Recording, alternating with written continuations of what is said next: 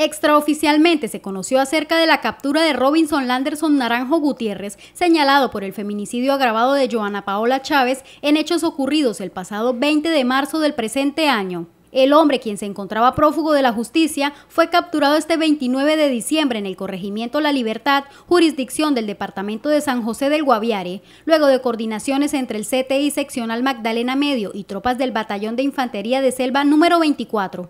Hasta el momento, las autoridades competentes no han hecho un pronunciamiento oficial con respecto a esta captura. Se espera que en el transcurso del día sea trasladado a Barranca Bermeja para realizar las respectivas audiencias de legalización de captura. Esto es una noticia en desarrollo.